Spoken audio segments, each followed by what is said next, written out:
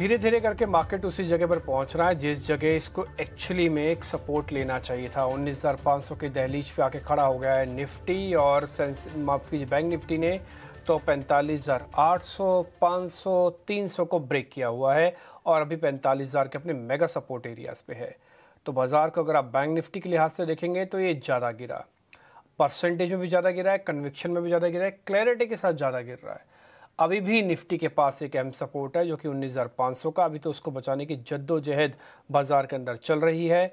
Options के अंदर हमने आपको पहले भी कई बार बताया कि जैसे ही मंथ की शुरुआत होती है ऑप्शंस के अंदर एक्टिवली पार्टिसिपेट करो। भले मार्केट रेंज का था कल पूरा बंद फिर फिर भी आपको ऑप्शंस के अंदर ट्रेड मिला होगा। और आज तो जैकपॉट लगा है पुट्स वालों का करीब तीन तीन सौ चार चार सौ परसेंट के गेंस आ रहे हैं। चार चार पाँच पाँच गुना हो गए। पाँच बड़ी बातों से कार्यक्रम की शुरुआत कर रहे हैं। लक्ष्य सिंह आज के मेहमान होंगे। रिपोर्ट कार्ड कल धोनी पटेल का, हम वो भी आपको दिखाएँगे। पहले पाँच बड़ी बातें आपकी स्क्रीन पर आएँगी। सबसे बड़ी बात तो फिच की रेटिंग की है। क्या इसको सारा का सारा क्रेडिट दे देना चाहिए कि फिच की वजह से ऐसा हुआ है? इसका जवाब है ना।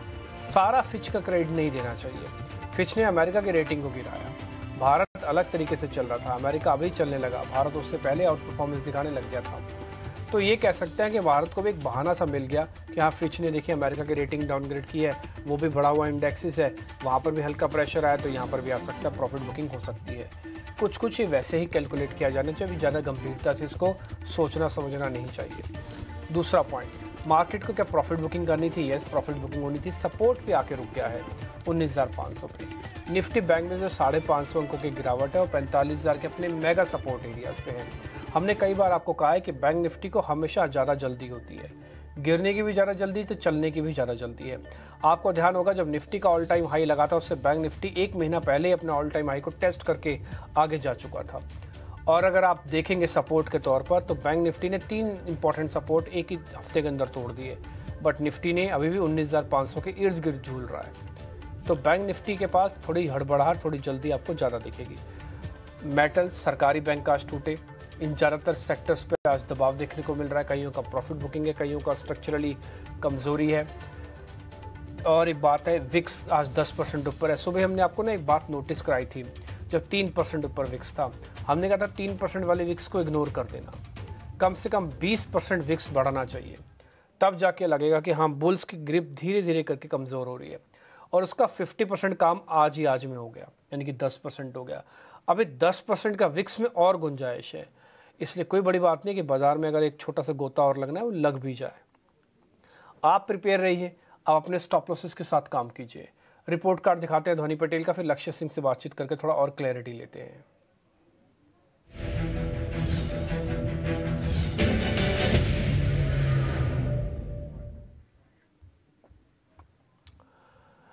कल इंडाइसिस को तो हमने क्लियरली अवॉइड की कैटेगरी में डाल दिया था। हमने नो बाय नो सेल वाली कैटेगरी डाली थी, आपके सामने होगा। लेकिन हमने वोल्टास की कल एक कॉल की बातचीत की थी, आज 25 परसेंट का गेन आया होगा। सुबह सुबह हमने भी आपको वोल्टास का ही शेयर दिया था। बाज़ार की इस तेज़ गिरावट में भी वोल्टास का शेयर खड़ा रहा और बारह से बारह का जो हमारा थीम होता है कि अगर हम कोई चीज़ आपके सामने कल बारह बजे रख रहे हैं तो आज बारह बजे तक के जितने रिटर्न हैं, वो रख दें। कम से कम एक परसेंट का रिटर्न तो होना चाहिए। आप देखेंगे इंडसन बैंक को बेचने की रिकमेंडेशन कल ही मिली थी, डेढ़ परसेंट का रिटर्न ट्रेंड को बेचने की रिकमेंडेशन कल मिल गई थी, डेढ़ परसेंट का रिटर्न कल हम आपके सामने ये भी कह रहे थे कि मार्केट कितना लैक लस्टर है ट्रेड ही नहीं मिल रहे। एक्चुअली तेज़ी के सौदे ढूंढना मुश्किल थे, मंदी के सौदों में हाथ नहीं डाला जा रहा। तो दोनों में मुश्किल हो रही थी, लेकिन फिर भी कुछ एक ट्रेड हमने आपके लिए ढूंढे और उसका रिपोर्ट कार्ड आपके सामने रख दिया। आज भी यही करने जा रहे हैं। लक्ष्य सिंह से पता करेंगे, थोड़ा और चैलेंज उनके लिए बढ़ गया है, क्योंकि हम मेगा सपोर्ट एरियाज़ पे हैं। पैंतालीस हज़ार का बैंक निफ्टी है, उन्नीस हज़ार पाँच सौ का निफ्टी है, यहाँ पर बाज़ार और टूटेगा। या फिर ये जो गिरावट है, ये एक सॉफ्ट प्रॉफिट बुकिंग है और बाज़ार फिर से ऊपर आ जाएगा, ये ज़रा समझने की कोशिश करते हैं। लक्ष्य, शुक्रिया, पहले तो आज समय देने के लिए। थोड़ा टफ काम हम आपको सौंप रहे हैं, सर। दो हिस्सों में, पहला हिस्सा ये है कि यहाँ से बाज़ार थोड़ा चलेगा या फिर अभी गिरावट का क्रम और कंटिन्यू होगा थोड़ा और नीचे जाएगा बाज़ार। और अगर ट्रेड लेना भी है तो कैसे और किस तरह से ले? सबसे पहले thank you for inviting for this show इस शो में आने में मैं एक्साइटेड रहता हूँ लेकिन आज नहीं हूँ क्योंकि अपॉर्चुनिटी मिस हो चुकी है। बिकॉज़ मैं चाहता हूँ कि लोग uh, जो भी अपॉर्चुनिटी है उसको यूज़ करें। लेकिन जिसने कल का शो हमारा देखा होगा तो हमने एग्जैक्टली exactly यही बात की थी कि फोर्टी फाइव थाउज़ेंड एक बार आना है। फोर्टी फोर सेवन हंड्रेड तक का व्यू था हमारा। और जो स्टॉक्स की बात की थी, वो स्टॉक सारे के सारे, आप देख सकते हैं यहाँ पे टाटा मोटर्स का हमारा सेल था। तो ऑलरेडी वो गिर चुका है करीब बीस रुपए। तो अभी यहाँ पे मैं बहुत एग्रेसिव बियरिश नहीं हूँ, लेकिन एक बाउंस का वेट जैसे आपने कहा कि बाउंस का वेट करना है। तो अगर आप बोले कि एग्जैक्टली exactly कहाँ पे बची हुई है ट्रेड तो मुझे लगता है थोड़ी सी ट्रेड महिंद्रा एंड महिंद्रा में बची हुई है। वहाँ पे मुझे लगता है कि स्टॉप लॉस 1486 का लगा के अगर शॉर्ट करे तो 1455 1448 तक के लेवल्स आ सकते हैं महिंद्रा एंड महिंद्रा में। अभी यहाँ पे 20 25 रुपए का फॉल बाकी है। बैंक ऑफ़ बड़ौदा यहाँ पे सेल है और इसका टारगेट वन नाइनटी से 188 का रहेगा स्टॉप लॉस 197 का रहेगा। यहाँ पे आपको थोड़ी सी जगह बची है। टाटा मोटर्स टारगेट 625 622 का है स्टॉप लॉस 635 का है। ये इतना कन्विक्शन इसलिए नहीं है क्योंकि 647 पे मैं लगातार हर शो पे आपके पिछले दो तीन दिन से यही बात कर रहा था कि जो इसका टॉप है, बन चुका है। इनवर्स हैमर दो वीकली लगातार कैंडल में बन चुका है। तो अब यहाँ पे बस ये फंसाएगा। ये ये ऊपर जाने की कोशिश करने की इसकी हिम्मत होगी नहीं और फंसा के नीचे ही आएगा। भले फंसाने में एक दो हफ़्ते लगा दे। तो अभी वो फॉल शुरू हो गया है। तो यहाँ पे बाउंस पे सेल कर सकते हैं। बेटर होगा। टाटा मोटर्स को। तो आपका अगर 635 का जो स्टॉप लॉस है, वो ब्रेक भी हो जाए। आपको 640 पे मिले वापस से। तो वहाँ पे फिर से सेलिंग अपॉर्चुनिटी है। और वापस से ये सेल द बाउंस अभी फ़िलहाल बन चुका है। तो आपको यहाँ पे इस समय पे ट्रेड देना मुश्किल है। मैं यहाँ पे आपको बुल ट्रेड इसलिए देना चाहता क्योंकि माहौल थोड़ा सा रेड है चारों तरफ़। लेकिन बैंक निफ्टी और निफ्टी में भी जो लेवल्स हैं वो ऑलमोस्ट अचीव हो चुके हैं। फोर्टी फाइव थाउज़ेंड फिफ्टी मेरा पहला सपोर्ट था, जो मैंने शो पे पिछले हफ़्ते भी कहा था। वहाँ तक एक बार जाना है। टू हंड्रेड और फोर्टी फाइव थाउज़ेंड फिफ्टी ये दोनों लेवल आ चुके हैं। अभी यहाँ से एक बाउंस आना चाहिए forty five thousand two hundred to fifty जहाँ पे हम सेलिंग करने की सोचे, क्योंकि वो इससे पहले का सपोर्ट था। तो इस तरीके से आपको ट्रेड करना पड़ेगा। अब थोड़ा सा वेट कर ले। अगर गिर भी जाता है तो आपको पछताना नहीं है क्योंकि आपने मेजर ऊपर से नीचे का जो मूव है मेजर मूव जो आज के ऑप्शन में पैसे बन रहे हैं दो गुना तीन गुना चार गुना वो आपने मिस कर दिया है। तो अब इसका पछतावा लेके कुछ फ़ायदा है नहीं। एक बाउंस का वेट करें बेटर अपॉर्चुनिटी मिलेगी। और 19,620 630 पे निफ्टी में शॉर्ट करने की अपॉर्चुनिटी मिलेगी। अगर यहाँ से गिर भी जाता है तीस चालीस रुपए भी तो भी मुझे नहीं लगता कुछ ज़्यादा आपको बनेगा पैसा। क्योंकि ऑप्शन में ऑलरेडी डिके होना शुरू हो चुका है। पुट्स में स्पेशली बिल्कुल सही कह रहे हैं। यही पॉइंट हमने भी सुबह अभी ओपनिंग कमेंट्री में उठाया कि चार चार सौ परसेंट का रिटर्न यानी कि चार गुना तक का रिटर्न ऑप्शंस के अंदर ट्रेडर्स को आज ही मिल गया, खासकर पुट वालों का। उनका जैकपॉट लगा। ऐसा नहीं, सुबह ही जैकपॉट लग गया था। उसके बाद डबल हुआ है ये। सुबह तो नब्बे पॉइंट टूटे थे। अभी एक सौ नब्बे पॉइंट है और अभी दो सौ पॉइंट भी लगा के आ चुके हैं। तो इसलिए ऑप्शंस वालों का जो पुट के अंदर आज पोजीशंस बनी है, उनका जैकपॉट लगा है।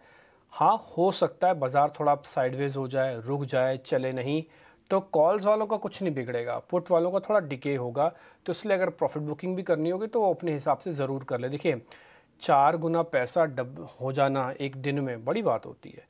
दो गुना भी किया होगा आपने, अगर एक गुना भी किया होगा, तब भी बहुत बड़ी बात है।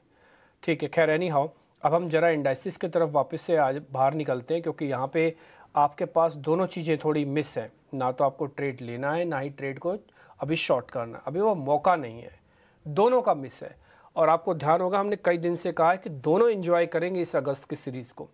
तेज़ी वाले भी करेंगे, मंदी वाले भी इन्जॉय करेंगे। मंदी वालों के लिए भी अच्छे दिन पूरी तरह से तो नहीं आए बट हाँ किश्तों में ज़रूर आ सकते हैं। आगे बढ़ते हैं। ज़रा चेक कर लेते हैं अब स्टॉक्स के बारे में। तो तेज़ी वाले शेयर्स पहले ज़रा स्क्रीन पे लेके आते हैं।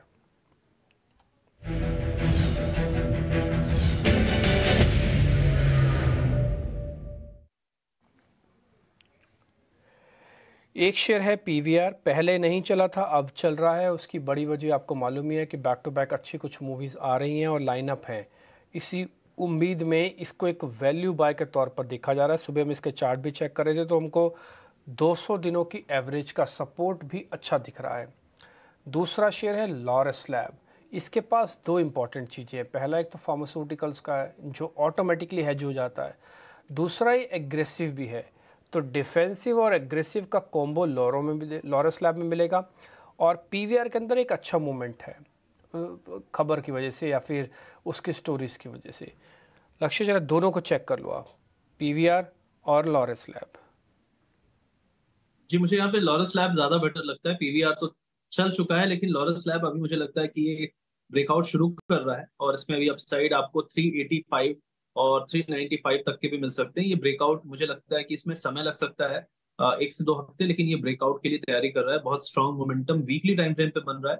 तो इसको आप पोजिशनली महीने भर का भी अगर टाइम फ्रेम लेके चलेंगे फ्यूचर्स में अगर ट्रेड करते हैं तो भी आपको यहाँ पे अच्छा मौका है। और इमीडिएटली 385 तक के लेवल मुझे दिखते हैं यहाँ से। लेकिन सेंटिमेंटली आपका चार्ट उसका भी अच्छा था पीवीआर का, लेकिन थोड़ा सा रेजिस्टेंस है जहाँ पे अभी वो है।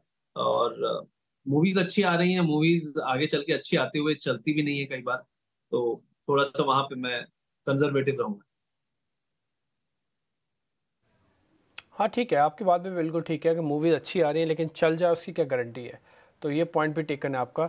सर, मेरे को ना लॉरस लैब का एक स्टॉप लॉस आपको देना होगा, अगर आप बाय करवा रहे हैं तो इसको। 52 का यहाँ पे स्टॉप लॉस रहेगा और टारगेट uh, आपके वीकली एटलीस्ट uh, पाँच से दस दिन के अंदर 380 385 तक के दिख सकते हैं। ठीक है तीन सौ पचासी का टारगेट डालते हैं तीन बास तीन बासठ का एक स्टॉप लॉस ले लेते हैं। ये प्रीमियम पे आपको बावन का माफ़ कीजिए ये आपको प्रीमियम वगैरह भी हम नोटिस करवाते थे थ्री फिफ्टी टू का एक स्टॉप लॉस तीन पचासी का टारगेट और ये आपके लिए लॉरस लैब हमने लक्ष्य सिंह की कॉल आपके लिए फाइनल कर दी है। ये जो कॉल्स का टारगेट स्टॉप लॉस मिल रहा है ना, यही अधिकारी हैं कल के रिपोर्ट कार्ड के। और हमारी भी कोशिश यही है कि आपको छठे हुए शेयर्स दिए देखिए, दोनों शेयर्स के बारे में चर्चा हुई।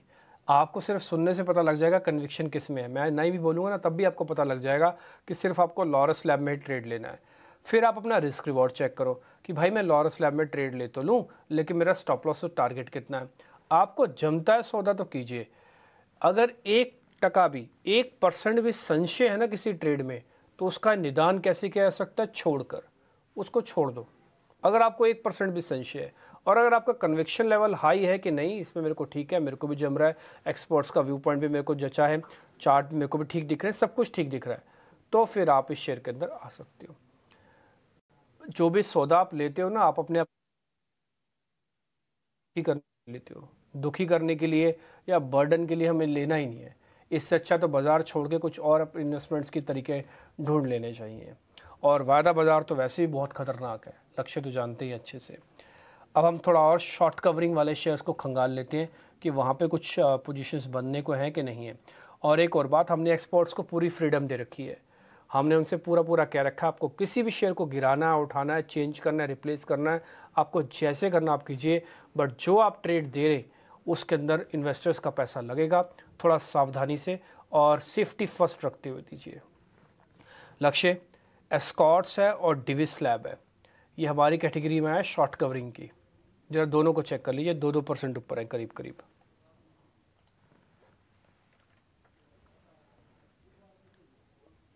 जी, मेरा मानना यहाँ पे ये है कि आपको डीवी स्लैब बेटर प्रेफर्ड रहेगा।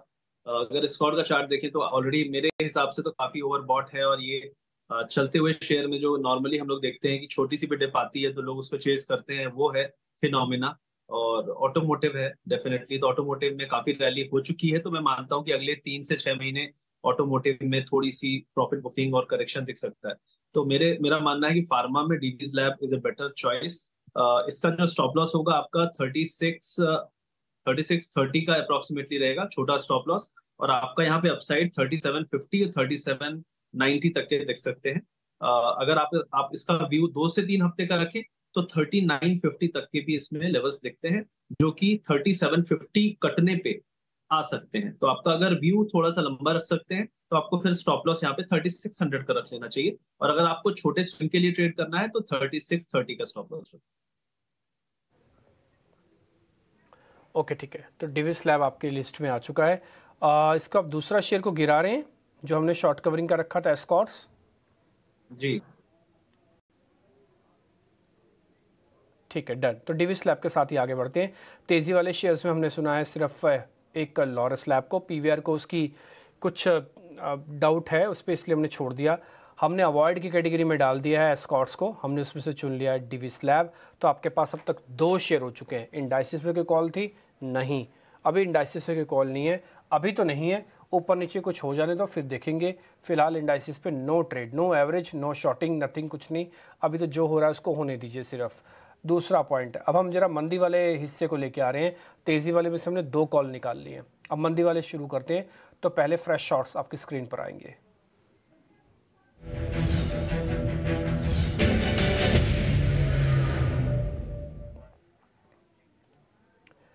एक शेयर के बारे में थोड़ी देर पहले भी आप चर्चा भी कर चुके हैं, लक्ष्य वो हमारी लिस्ट में भी है, वो है टाटा मोटर्स और दूसरा है ए बी कैपिटल्स। ज़रा टाटा मोटर्स के बारे में वापस से बता दीजिए, फिर ए बी कैपिटल्स भी ज़रा चेक कर लीजिए। जी, मेरा मानना है यहाँ पे अगर आप थोड़ा सा एग्रेसिव देखें तो एबी कैपिटल ज़्यादा एग्रेसिव शॉर्ट होगा, क्योंकि ज़्यादा यहाँ पे, अभी देखिए टाटा मोटर्स अभी भी बाय द डिप वाले लोग वहाँ पे लगे रहेंगे, क्योंकि एक सेंटिमेंटली मैंने देखा है कि ऑटो में सबसे पहले लोग टाटा मोटर्स की तरफ़ देखते हैं तो वो इतना फ्रीली नहीं गिरेगा अभी भी यहाँ से, और धीरे धीरे स्लाइड होगा, लेकिन जिस तरीके से भी कैपिटल गिरा है, मुझे लगता है इसमें और डिप आ सकता है यहाँ पे। और अगर आपका स्टॉप लॉस 192 का रखें, क्योंकि आठ रुपए आज ही गिर चुका है तो एक छोटा सा बाउंस आ सकता है इसमें दो तीन दो रुपए, ढाई रुपए का। अगर वो बाउंस मिल जाता है तो 192 के स्टॉप लॉस से आपको शॉर्ट अगर इसको करना है तो आपका टारगेट यहाँ पे 182 तक का मिल सकता है। 182 181 पे यहाँ पे सपोर्ट मिलेगा, जो अगला मिलेगा। तो उसके पहले सपोर्ट अभी दिखता नहीं है। तो एक छोटा सा अगर बाउंस मिले, वो एक शॉर्टिंग अपॉर्चुनिटी होगी AB capital Tata motor slide होगा, लेकिन तीन चार रुपए बाद वहाँ पे एक सपोर्ट है सिक्स ट्वेंटी फाइव पे। इसलिए मैंने उसको नहीं दिया कि तीन रुपए के लिए हम क्या ही उसमें कोशिश करें। हाँ नहीं नहीं, बात आपकी बिल्कुल ठीक है। तीन, पाँच रुपए के लिए क्यों आना इतना तो फिर रिस्क भी रहता है फिर पैसा भी ब्लॉक हो जाता है। अब आजकल तो क्या है ना लॉट साइज़ भी बढ़े हैं और थोड़ा शेयर चले भी हुए हैं तो जो लॉट का मार्जिन देना पड़ता है वो भी बहुत ज़्यादा है। मान लीजिए कोई दस लाख रुपए लेके बैठा है तो दो या ती, तीसरे लॉट तो खरीद ही नहीं पाता। दो या तीन लॉट में उसके पैसे पूरे हो जाते हैं। हाँ इंडाइसिस में अभी भी एक सवा लाख रुपये लगता है मार्जिन के तौर पर अगर आप दे रहे हैं तो वहाँ पर थोड़ा ज़्यादा ट्रेड मिल जाएगा बट उसमें ट्रेड है नहीं। शेयर्स में ट्रेड कीजिएगा, थोड़े अच्छे से और आराम से कीजिएगा। बाज़ार शॉर्ट होते समय भी कहीं नहीं भागा जा रहा है, लॉन्ग होते समय भी कहीं नहीं भागा जा रहा हिस्ट्री डिसीज़न मार्केट के अंदर हमेशा लॉस ही लेके आते हैं। वो एक दो बार तो आपको लगेगा, देखिए हमने हिस्ट्री डिसीज़न लिया, कितना फ़ायदा हो गया। लेकिन लॉन्ग टर्म में अपने दस सौदों का आप चेक करेंगे ना तो आपका सात या आठ सैंपल खराब ही निकलेंगे हिस्ट्री के। ये चेक करके देख लीजिएगा, अगर किसी को नहीं हो तो मैं अपने एक्सपीरियंस के बेसिस पर बता रहा हूँ। खैर एनी हाउ थोड़ा हम थोड़ा और आगे बढ़ते हैं। अब जरा अनवाइंडिंग के दो शेयर्स भी हैं सर मेरे पास। जरा वो भी चेक कर लीजिए। एक था एम्फेसिस दूसरा है नालको इन दोनों शेयर्स को भी जरा देख लीजिए।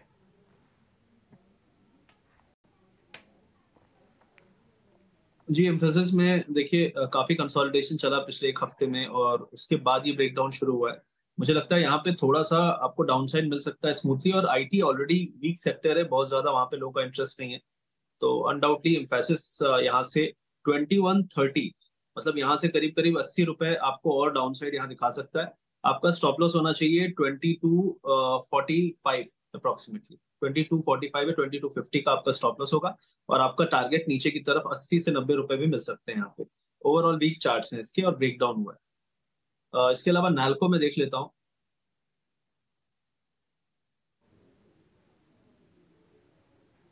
जी कौन सा था? दूसरा स्टॉक कौन सा था? ओके नालको नालको ही है वो नेशनल वो ना नालको के नाम से नहीं मिलेगा वो नेशनल एल्यूमिनियम के नाम से मिलेगा। नेशनल डालेंगे ना तब आएगा। नालको के नाम से हम भी डालते हैं हमें भी नहीं मिलता। नेशनल डालो आ जाएगा। आ गया जी। तो नालको का भी चार्ट सिमिलर है ब्रेकडाउन हुआ है दो दो तीन दिन यहाँ पे इनवर्स हैमर कैंडल बने काफ़ी ट्रैप किया है इसने।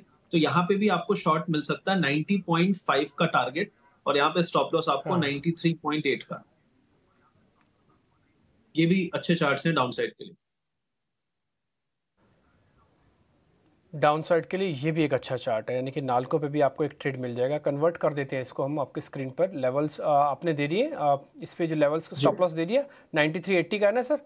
9380 का स्टॉप लॉस जी और आपका 90.5 का टारगेट डन 90 50 का टारगेट ठीक है। मैं आपसे ना आपकी ट्रेडिंग कॉल्स पे जरा पता करूँगा लास्ट में चलते चलते। दूसरा, इससे पहले ना जरा गोदरेज प्रॉपर्टीज़ का आप चार्ट खोल लीजिए लक्ष्य। ये अच्छा चला हुआ शेयर है, इसके नंबर आ गए। एक बार मैं जरा नंबर्स आपको बता देता हूँ। इसका जो प्रॉफिट आया ना, वो 120 करोड़ रुपये के आसपास है। और ये बड़ा है, करीब पैंतालीस छियालीस करोड़ से। एस्टिमेटेड था, जो एस्टिमेशन था, वो था कि करीब आएगा तिहत्तर करोड़ ही। तो नंबर्स तो अच्छे आया प्रॉफिट के तौर पर। ये सिर्फ़ पहला पॉइंट बता रहा हूँ प्रॉफिट तो उसने एस्टिमेट को बीट किया है, ठीक है? दूसरा मैं इसके अंदर बात बताता हूँ आपको, वो है इसका अबीटा, जिसको हम ऑपरेटिंग प्रॉफिट्स या लॉस कहते हैं। उसके अंदर मार्केट एक्सपेक्ट कर रहा था कि इसका जो लॉस आएगा वो करीब 20 करोड़ रुपए के आसपास का आएगा। और इसका जो लॉस आया है वो 150 करोड़ का है, अबीटा लॉस है। ठीक है? तो 13 करोड़ से बढ़कर आए तो इसका अबीटा यानी कि इसका ऑपरेशनल एफिशिएंसी ठीक नहीं है प्रॉफिट ठीक है। ये कंसोलिडेटेड आई भी आप चेक कर रहे होगे। अच्छा इसमें ना दो चीज़ आप चेक करना। इसमें वाई ओ वाई और क्वार्टर ऑन क्वार्टर अलग अलग है। इसमें वाई ओ वाई की डाटा आपकी स्क्रीन पर चल रहे हैं। आप इसको ज़रा नोटिस कर लीजिएगा। मोटे तौर पर मैं सिर्फ़ वाई ओ वाई नंबर को ही देख के जो हमारी स्क्रीन पर चल रहे हैं, उसको देख के कह सकता हूँ। इतने ख़राब नहीं हैं। अबीटा वाला फैक्टर है इंक्लूड बस वैसे ख़राब नहीं लग रहे हैं। एक बार आपकी रिकमेंडेशन चाहिए, लक्ष्य एक बार चार्ट को भी चेक कर लो, फिर आते हैं ट्रेड पे। जी। तो यहाँ पे अगर मैं चार्ट इसका देखूँ तो एक थोड़ा सा पैनिक रिएक्शन में यहाँ पे फॉल आया था अभी। लेकिन उसमें थोड़ी सी बाइंग भी मिली है। मुझे ऐसा लगता है क्योंकि हमने दो दिन में देखा कि रियलिटी सेक्टर के स्टॉक्स थोड़े से करेक्ट हुए थे अपने हाई से। और ऑल टाइम हाई के लेवल पे ब्रेकआउट दिखाते दिखाते उन्होंने पलटी मारी है। तो मुझे ऐसा लगता है कि यहाँ पे रिज़ल्ट क्योंकि मिक्स्ड है, मैं इसको बहुत अच्छा भी नहीं कहूँगा, बहुत खराब भी नहीं कहूँगा। मिक्स्ड है तो हो सकता है यहाँ पे थोड़ा बाउंस हमको मिले। सेवनटीन हंड्रेड टेन तक का बाउंस मिल सकता है। उसके बाद ही आपको अगर उसके ऊपर निकलता है तो ठीक है अगर नहीं निकलता है सेवनटीन टेन के तो वापस से ये डाउन साइड अपना कंटिन्यू करेगा। लेकिन अभी के लिए फ़िलहाल मुझे लगता है थोड़ा सा यहाँ बाउंस आ सकता है बीस बीस पच्चीस रुपए का। ओके डन अब आप मेरे को अपनी जरा ट्रेडिंग कॉल्स बता दीजिए। जी तो आ, मेरे जो ट्रेडिंग कॉल्स थे मैंने ऑलरेडी बताए हैं उसमें एक महिंद्रा था बैंक ऑफ़ बड़ौदा सेल था और टाटा मोटर्स सेल था तीन चार रुपए के लिए लेकिन अभी फ़िलहाल क्योंकि मैं मेरे हिसाब से जो मार्केट अपने सपोर्ट लेवल के पास है तो एक बाउंस का मैं वेट कर रहा हूँ। मैं वो लेवल्स बताना चाहूँगा। एक्चुअली बहुत इंपॉर्टेंट है वो। अगर हम लोग क्या ट्रेंड लाइन एनालिसिस काफ़ी करते हैं तो exactly six thirty nineteen six thirty area है जहाँ पे एक बाउंस अगर मिलता है, वहाँ जाते हैं। वो एरिया शॉर्टिंग का है। और दूसरा अगर बैंक निफ्टी की बात करें तो फोर्टी फाइव टू फिफ्टी का लेवल है। टू फिफ्टी टू सेवेंटी जहाँ पे अगर जाता है तो वहाँ पे आप शॉर्टिंग के लिए सोच सकते हैं। लेकिन at the same time global market check कर लीजिएगा, क्योंकि वहाँ पे चीज़ें बदलते टाइम नहीं लगता। राइट नाउ चीज़ें बहुत खराब लग रही हैं, लेकिन मार्केट भी गिरे हुए हैं और खराब एक बार प्राइसडन होने लगता है तो बाउंस भी आने लगते हैं। तो कई बार वियर्ड बिहेवियर होता है तो उसको देखते हुए ही ये बाउंस पे सेल करना है। और सारे स्टॉक्स थोड़े थोड़े बाउंस देंगे उस टाइम पे तो आपको जो आज के वीक कैंडिडेट्स हैं जिसके बारे में हमने बात की, वो बाउंस देंगे तो वहाँ पे आपको शॉर्ट करना है। वो बेटर डील होती है, एक स्मार्ट वे ऑफ़ ट्रेडिंग होता है।